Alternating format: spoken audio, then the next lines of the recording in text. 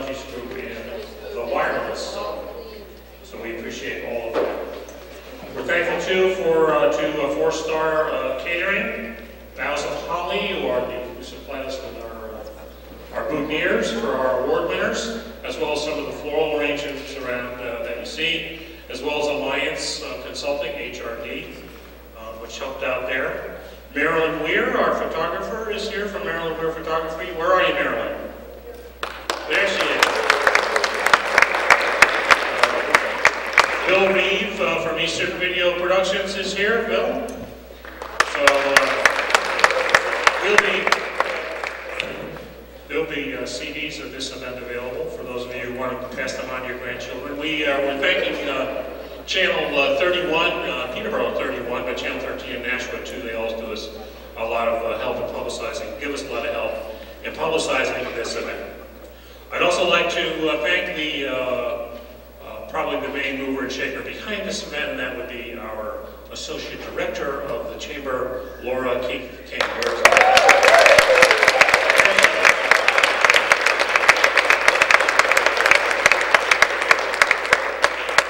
Okay, uh, let me explain to you just really briefly uh, what's going to be going on here tonight.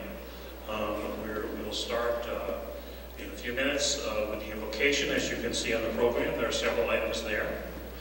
Um, and then what will happen is that we will start the uh, uh, buffet. And the way that will work is that the wait staff will look and see which, behave, which table is behaving the best, and then they'll come and they'll come and tell you when to go, so don't get jumpy. Okay? Um, after, after dinner, um, we will have our uh, awards presentation. After uh, the awards presentation and our benediction, uh, we will uh, break down these middle tables. It'll take about five minutes. And then we will introduce the Bedford Big Band. Okay? Um, so uh, that's what's going to happen. We're going to start off now. Um, so joining us again for uh, our invocation from Monadnock Congregational Church, the Reverend Tim Jantos. Tim?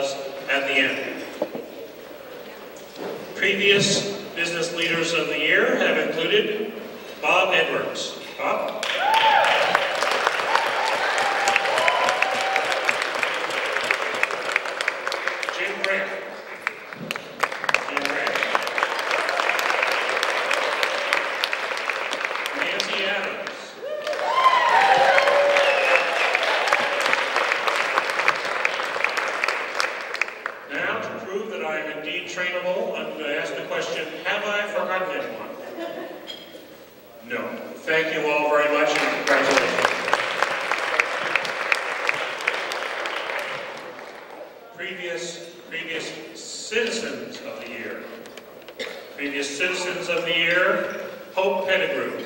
Hope.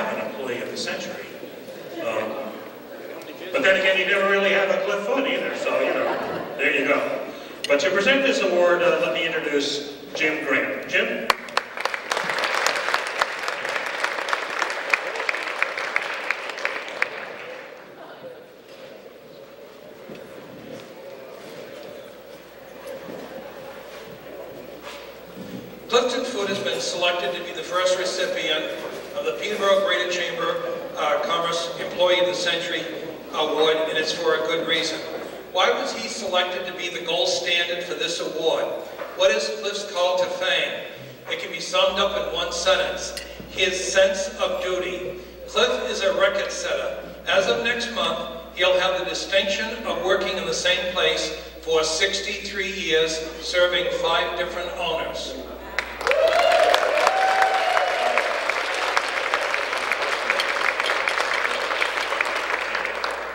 The new generation of young workers, the millennials, they stay five years and boogie. So Cliff won't have to worry about somebody taking his uh, record away from him. Cliff joined the United States Army right after high school in World War II, serving in Germany, France, Belgium, and England.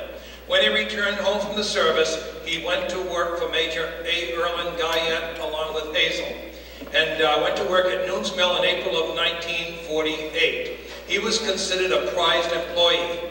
His good character and work ethic defined him. As a member of the greatest generation, you won't be surprised that in 63 years, he's only missed work twice, and both times were for operations.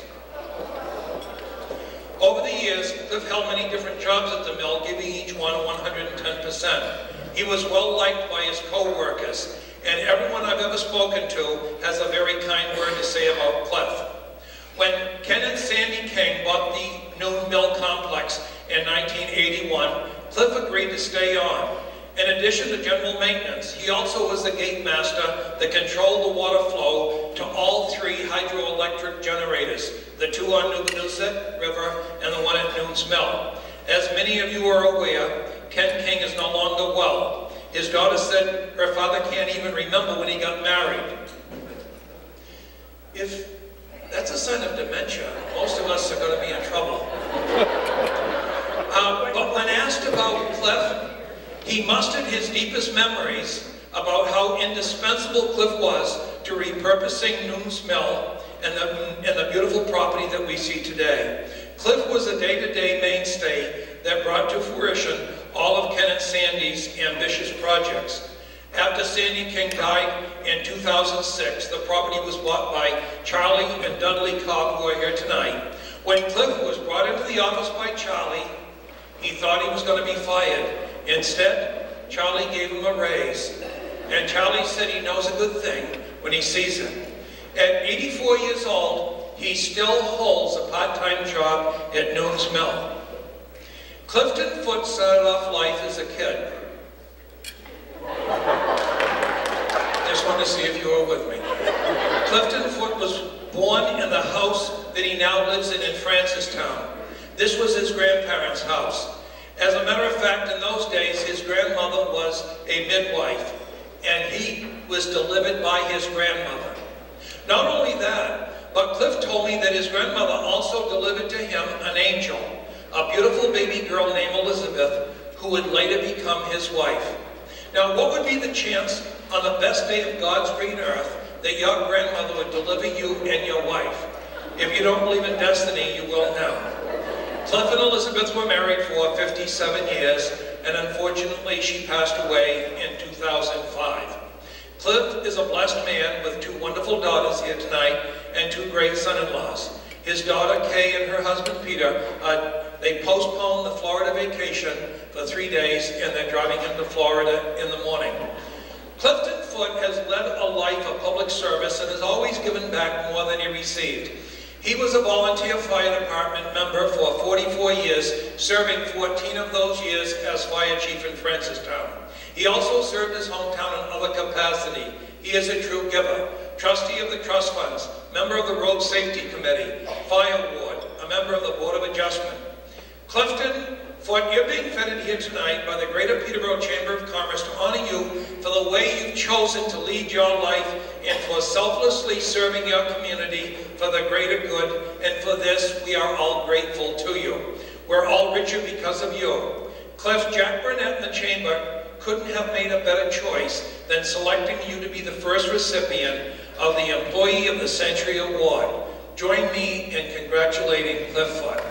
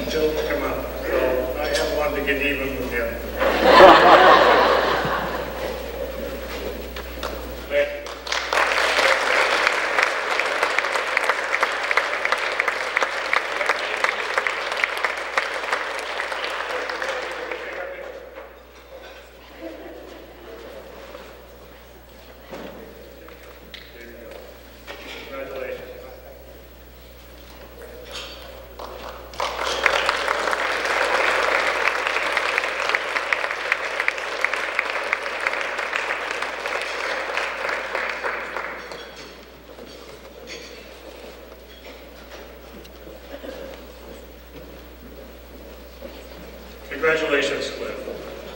By the way, not just our first employee of the century, but our last one, too. Thank you very much, and thank you, Jim, and congratulations, Cliff. Now to uh, introduce our next award winner. Business Leader of the Year is one of the most important awards that is given out in this region. It's a great honor, and one of the things that's also great about it is the people who are asked to present it. So our presenter for our Business Leader of the Year award is Dr. David Fleming. David?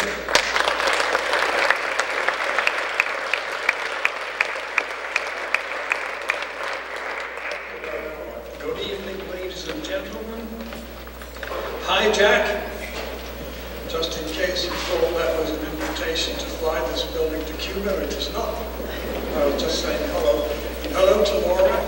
Thank you very much for organizing this fine evening. It's such a lot of fun. We've known Tom for 10 years. And we've been inspired by Megan, who played the cello, and she inspired our little kid Cleo to play the cello too, which is great. Tom, I don't know whether you know this, but Tom has a serious problem with gambling. It wasn't long before we knew him that we started to wager on when the last lump of snow would leave our yards. And we started haggling around towards the end of May, actually, over the course of the last 10 years, which is how long we've been doing this. Well, last year we were up to April the 28th, and I got it wrong by one day. One day! That's disgusting. Of course, I usually win because at 3 o'clock in the morning on the previous night, I go around his house with 15 tons of salt. so you know, sprinkle it on his yard, which is fun. Of course, sometimes he will he will rejoin by going to his freezer and picking up that little box of snow that he put there on Christmas Day. And that in his yard, say, there, I told you so. Yeah, there.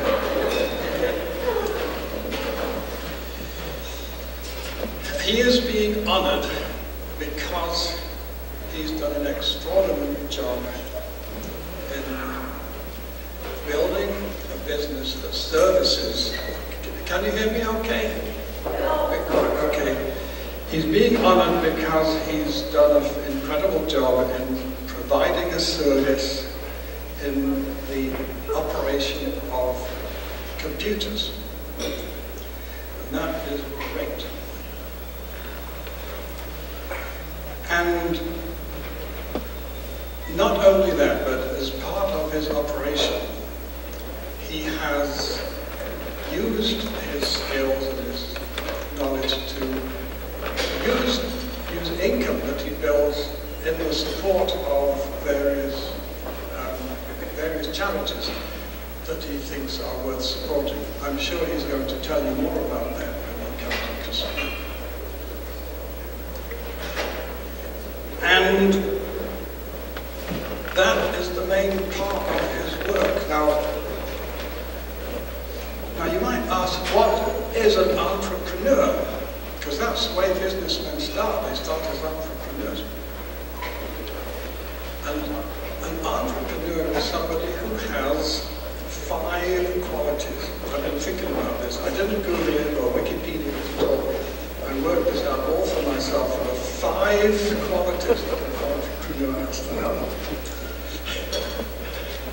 First of all, it's the gift of specific knowledge that not many other people have. The second is a community in which you work, which needs that knowledge. Third is minimal interest in other pursuits. so there's nothing else you want. In fact, when you think about it, isn't that what the nerd is? I mean, nerds this. I mean, if you look at Tom's chest, you can see the imprint of his pocket protector still there.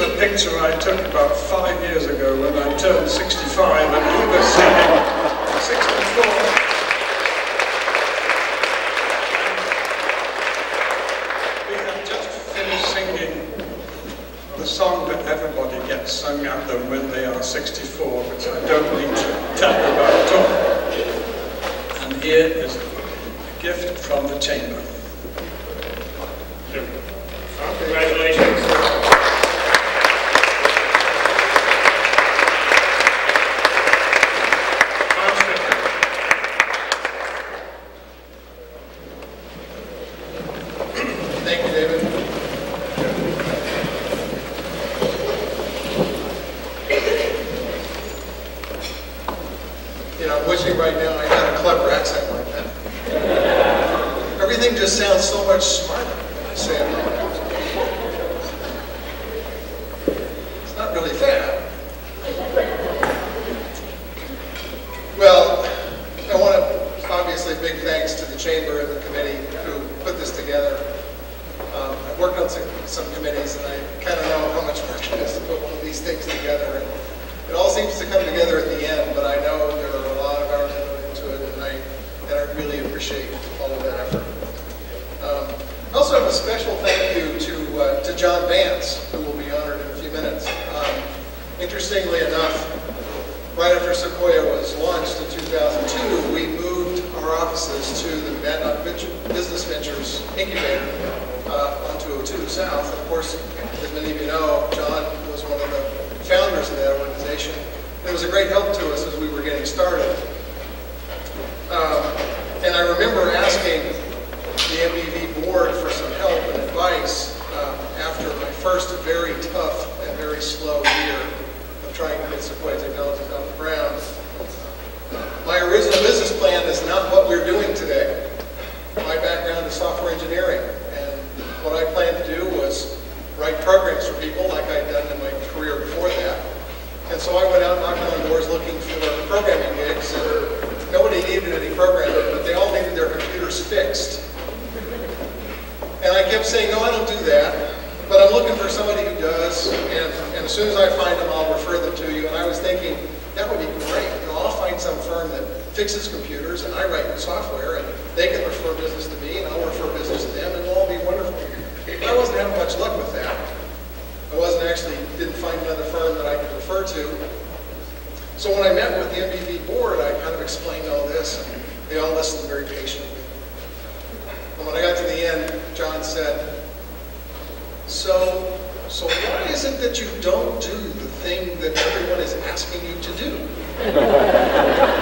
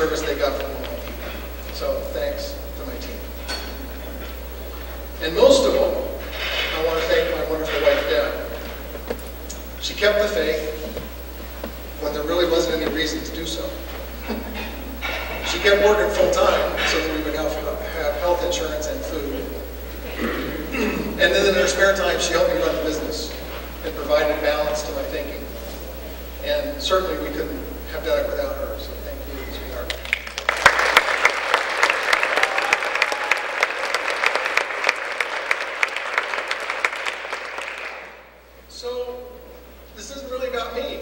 I'm really the spokesman here. Um, so let me tell you briefly about our business. As most of you know, we provide IT services for small and medium businesses.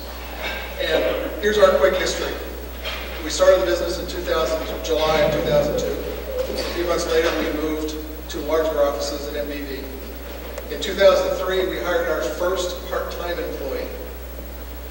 In 2005, we moved again to bigger offices.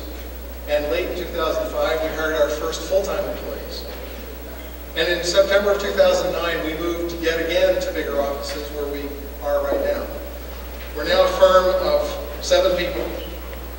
Um, and all those moves were scary, but every time we did one, it was like turning loose the straps and, and, uh, and suddenly the business expanded to fill the new space. We manage a little over 600 computers in 75 locations, mostly in New Hampshire, but also in Maine, Connecticut, New York, Illinois, Colorado, and Wyoming. So things have been have gone well.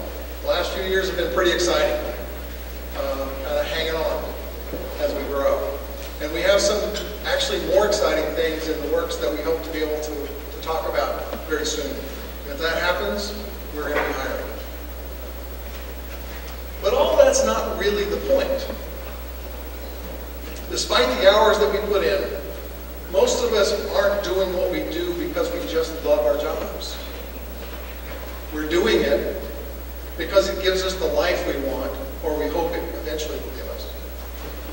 And that life that we seek is this community. It's our family, and it's our friends, and it's the organizations that fill this place that we live. Now, some of you all know I'm not from around here. so let me tell you about your community from someone from outside. We live in a place that most people dream of visiting on vacation. We have mild summers, the most, most, most spectacular fall on the planet. And other than February, we got a winter that people come to take photographs and paint paintings. We enjoy a vibrant art and music community that's comparable to any large metropolitan area. We have good people and energetic organizations that make this a wonderful place to live. We have the most participatory government I have ever seen anywhere. We support growth, but we're careful about it. We're thoughtful, we're deliberate, sometimes we're hard-headed. But we're building a place that people want to live. And that's why my family chose this place. We weren't transferred here for a job. We weren't born here. We don't have family here. We chose to live here.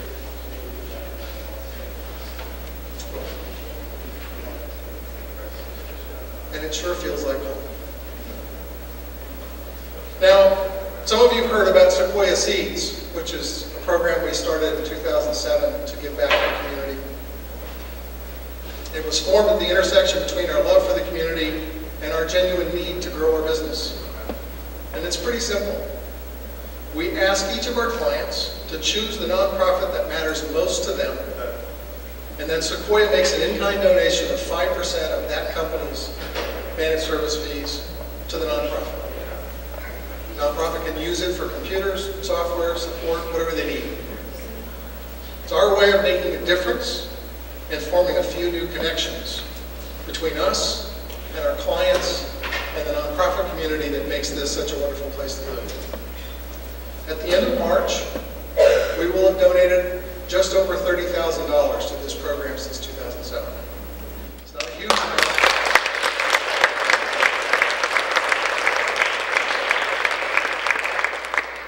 It's not a huge amount, but it's not bad for a firm our size, and we're very proud of that. Over that same period, our business has more than tripled.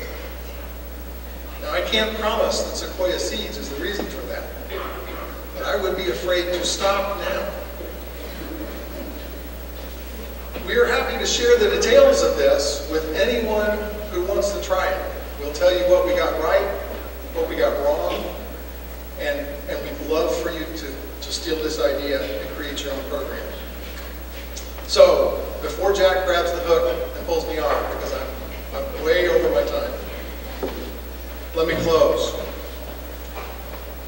A few months back, Deb entered, attended a great workshop uh, hosted by NHBSR, Hampshire Businesses for Social Responsibility, a wonderful organization that helps businesses focus on community, um, energy, environment, um, and, and we are glad to be part of it. And one of the things that came out of that workshop that I thought was really wonderful was was a comment that be the rudder, not the boat. I really like that. First off, we're not big enough to be the boat, so it, that's a relief. But that's okay, because you know what? This room is the boat. This community is the boat. We all are the boat. The other thing I like about it is the rudder's not in the front of the boat. It nudges the boat from behind. So here's my nudge. Steal our idea or But think about what you or your business can do to contribute to this wonderful community to make it even better than it already is. I promise you will not regret it. Our greatest success will be if we can steer the boat just a little bit. Thank you, sir. Okay.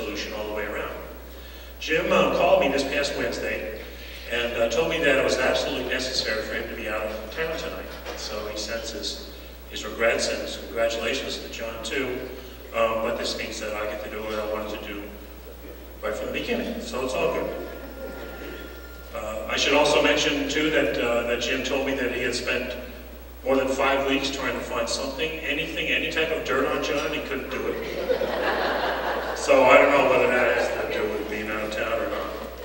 Now John has brought with him tonight a, a pretty significant security detail. Um, so I just want to mention who they are. They don't have to stand up or anything, but I just want to mention them.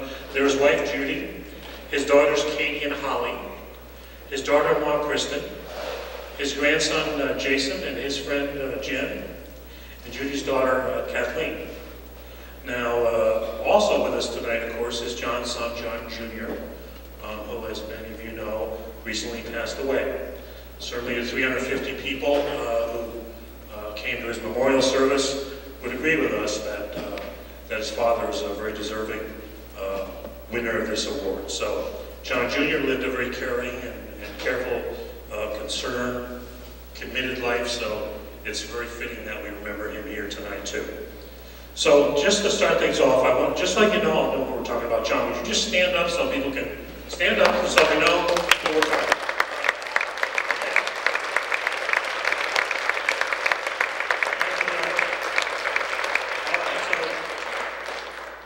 In a nutshell, when you, as, as many of you know, the, the procedure for this, for Business Leader of the Year, Citizen of the Year, this is a nomination procedure. We get many, a number of nominees, usually at least a half a dozen every year for each of those two. There are nominations forms, recommendations, letters, photos, press clippings, and the whole deal.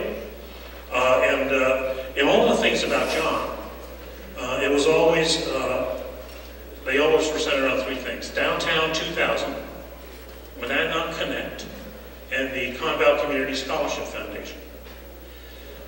So we'll get to those very briefly, but uh, first of all, we need to get John here. So let me tell you just really uh, a little bit about John. The more I found out about him, the more I realized he's sort of like a Forrest Gump type guy, like everywhere he goes, running into these people, you know.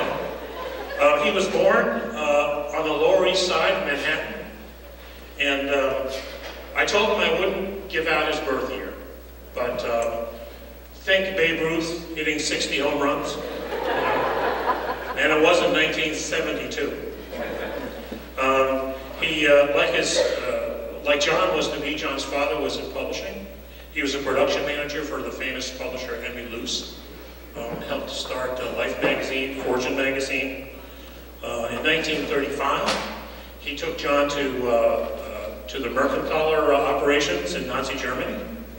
You know, um, John eventually got to know uh, the the famous photographer Margaret Bourke-White.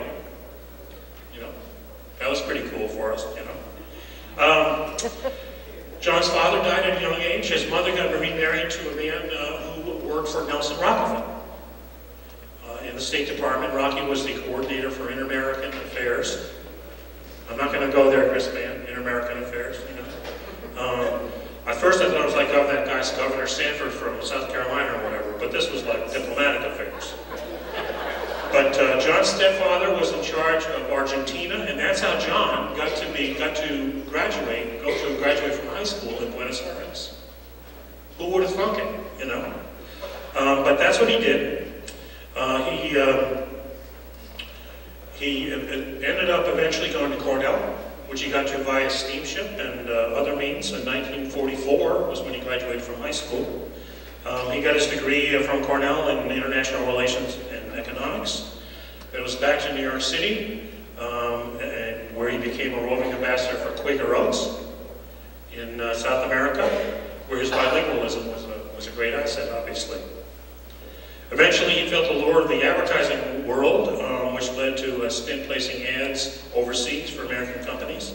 He became a college traveler uh, for McGraw-Hill, which meant that uh, he would go visit campuses and he would try to push McGraw-Hill books, but at the same time, he would try to uh, produce, you know, get manuscripts to publish into books from the professors. Um, 30 years later, 30 years later, John was the Executive Vice President for Higher Education and Professional Publishing at Island. So that's quite a, that's quite a trip from college, that's quite a travel for a college traveler. There were a few uh, notable stops along the way, not the least of which uh, by far was uh, in 1980 when he uh, married Judy. For the second time, married Judy. First time was in 1979. Are you ready for this? They got married in a Las Vegas wedding chapel. You know, John and Elvis. Can you, you know, can you, can you picture that? So they did that, and finally, and I was saying before, really, part of this part of the evening wouldn't be happening if it weren't for Franklin Pierce College. Dr. Jamie Birge's president is here tonight because uh, the president of Franklin Pierce University. Because in 1992, uh, John Jr. went to Franklin Pierce. And the fact that John Jr. came here to go to Franklin Pierce is what brought John and Judy. As far as I know.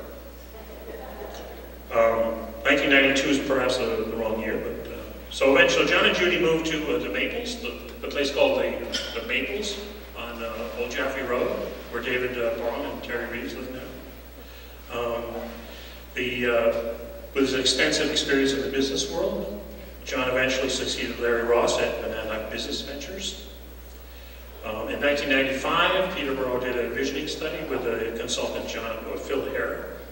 Um, John volunteered to be on the committee, and he and Brad Brighton chaired the business subcommittee of that. One of, the form, one of their recommendations was the formation of a downtown, uh, of, a, of a nonprofit to develop, uh, revitalize downtown Peterborough. So that led to Downtown 2000. Without that, the street lighting and the whole Depot Square thing, thanks to investors like Saigreg, Stan Fry, and many other people involved. Without that, though, Peterborough as we know it really probably wouldn't exist. So John was the chair of that.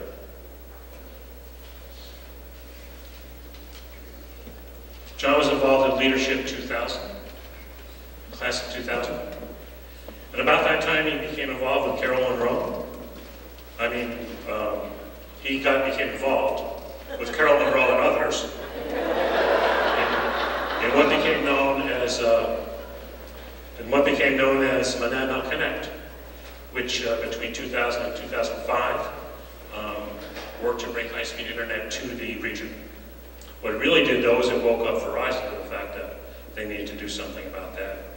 And I should mention that Carol's now involved with the FastRoads, which is sort of round two of that. John's a longtime member of the, uh, Peter, of the Chamber Business Support Committee and Education Committee. It was about this time that John came into my office at the Chamber, and uh, he had been talking uh, with a number of people, he said, and uh, he was thinking about starting a scholarship foundation from scratch. Did I think it was possible, or did, or, and or? So thankfully, John, you know, doesn't need or get my okay to, to do anything. But I, you know, I said, well, you know, have you ever done anything like this before? And, and he said, no. I said, uh, why, would, why would you do this? And he said, well, because it needs to be done. Kids need more help. And I said, am I correct in thinking that you don't have any kids in the Conval system yourself? He said, you're correct. I said, do you have any money for it? He said, well, some from supporters, but not enough. And I said, well, how will you get the rest of the money? John said, collection jars. I said, good luck. And off John went. So in case there's any doubt about it, uh, despite what he himself may say, or may have said in the past or may say in the future, don't believe him. If he tells you otherwise, because I'm telling here to tell you that, that John single-handedly, single-handedly created the Conval Community Scholarship Foundation. He met with scores, or not hundreds, of, of people and organizations. He recruited a board, he wrote the letters, the press releases, the newsletters, and he was personally responsible, personally responsible for altruistic reasons alone for the fact that it exists today. He's also responsible for its mentoring model, which uh, provides a personal men- mentor to every recipient for as long as needed, even after college, if that's what, if that's necessary. And who are these people? Well, these, these CVCSF recipients aren't your ordinary scholars. They are invariably facing obstacles in their lives that seem impossible to overcome. But they are inspired by the Valley Community Scholarship Foundation sort of mantra, which is face your challenges, aim higher, and achieve. And that's, that's John Vance. So far, a total of 22 scholars, all have done that, um, uh, have done just that, with another six to be named this year, to the tune of a total of $275,000. All because John didn't just think that kids needed more help, he decided to go out and do something about it. So there you have it, a family that cares. Downtown 2000, Monadnock Connect, Conval Community Scholarship Foundation, plus Elvis. You know? So I ask you a question, can you imagine, can you imagine how much better a place our town and this region would be today than it already is if John and Judy had gotten here before they did? So ladies and gentlemen, let me uh, introduce to you your 2011 Citizen of the Year, John Vance.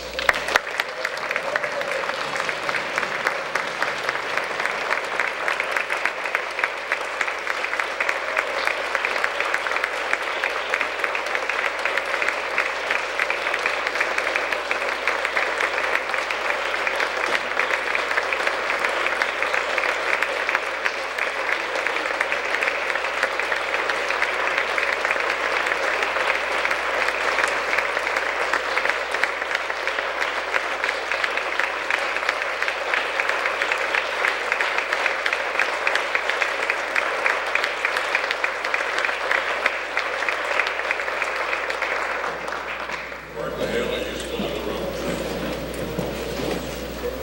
Gordon, will you please stand up? Better? Tom, the, the person at Monadnock Business Ventures who asked the tough questions and gave the good suggestions to entrepreneurs, Gordon Hale.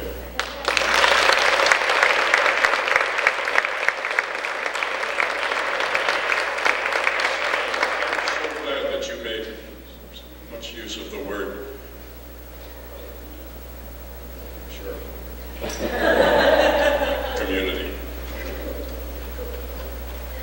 I know that, uh,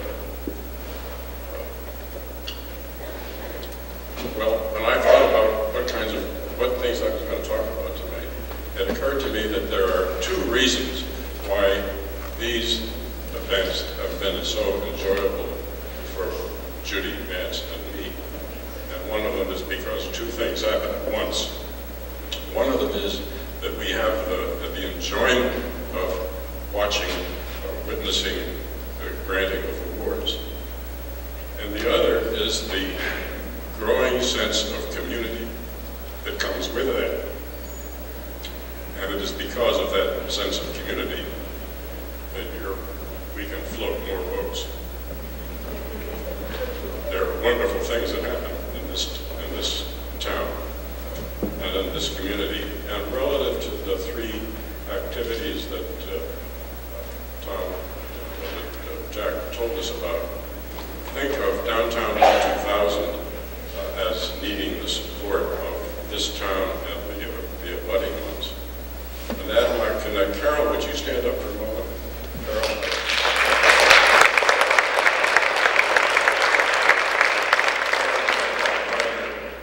with Dave Romanowski, New Hampshire, Paul Perry, and Rebecca Lake and and Keene in making Monadnock Connect to work. For Monadnock Connect, the community is the Monadnock region as defined by the New Hampshire Charitable Foundation. For the Conval Community Scholarship Foundation, the community is the Conval region. We have three objectives in the Conval Community Scholarship Foundation. And uh, I'm also thinking of someone I'm going to have, I'll get to it. But that, that, that community of the Conval Region Community Foundation and our, our objectives for that organization were three. One of them was to help eliminate a few uh, students who had obstacles to clear in order to have a shot at secondary, post-secondary education. The second was through them to set examples that would inspire others. We can never provide all help for all of us students who are there. And the third one was to help to create a sense of community Conval school system. Is Barb Goody here tonight? I haven't, haven't seen him. Well, one of the, one of our great hopes, think back now four or five years ago, was that one day we would have a, a positive vote when it came down to budget and, and the contract for, for, our, for, for our teaching staff.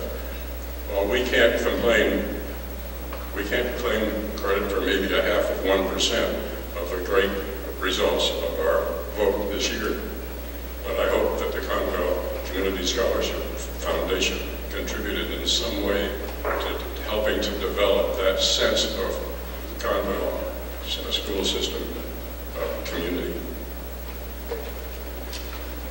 Jack, I think one of the, I think Jack and Laura have done a magnificent job of arranging this event.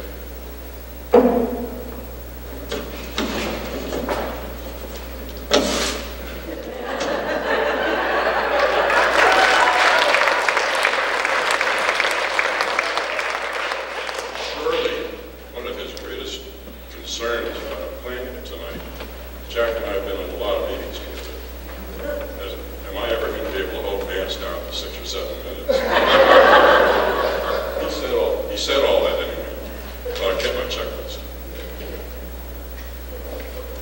I first came here, I'll get back to that, correctly that date, Jack. I first came here in 1976 with my son, John.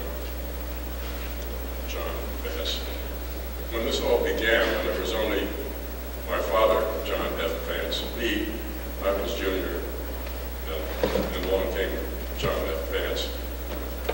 We didn't get into the numbers game until there were four of us. When Jack was born, it was John F. Vance four, anyway. We came here in 1976 to meet Martha Scott, who was the admissions officer for Franklin Pierce College at the time. She's still my dear friend, and by the way, and not only that, she's a regular and generous contributor to the scholarship foundation fund. We came here to, to be interviewed and apply for, for Franklin, Franklin Pierce College. Judy and I moved here in 1993 after I uh, thought I retired from the, from the publishing business. And I have a better idea of what retirement really means after having been here for these last uh, 18 years. A former colleague from McGraw-Hill, Ted Doss, some of you may have known him at the time he came here. He purchased uh, Highlights for Young Children and operated that for, for a while. He hadn't seen me for 30 years, and we, we met. He said, John, you've lived in Buenos Aires, San Francisco, Chicago, and New York. Why did you come here? There's nothing to do here. Roll up the sidewalk at 7 o'clock and turn out all the lights. He wasn't entirely wrong about the sidewalk and lights, but he sure was wrong about not being able to find anything to do here.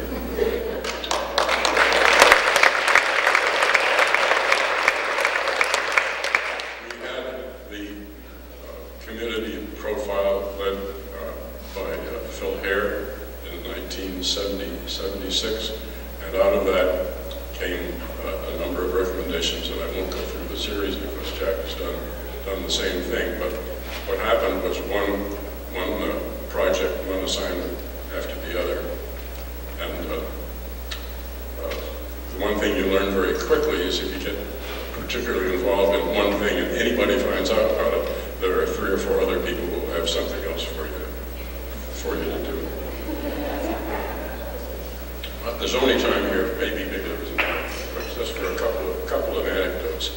Uh, I'd love to talk for an hour about the things we did with Downtown 2000, but let's just try, let's a couple of anecdotes. Who would have imagined, starting Downtown 2000,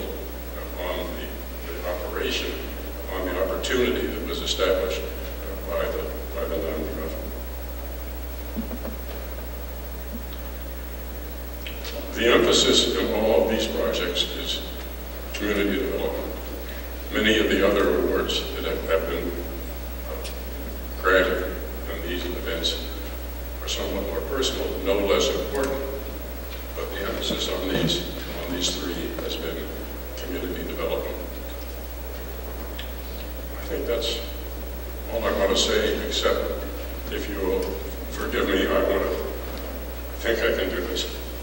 I want to make a couple of uh, personal observations. The easier one is that no two people have given me more encouragement and support from the beginning.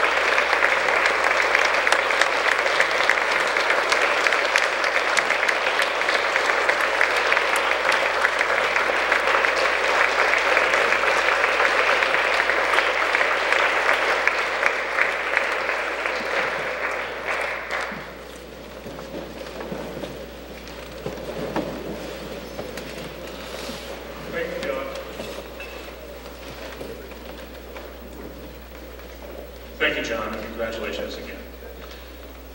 Okay, so what's going to happen now is we're going to uh, ask Reverend Tim to give us the benediction. Then we are going to take about a two-minute break while a uh, chamber board committee led by Rich Dufresne is going to break down these middle tables and clear them out of the way.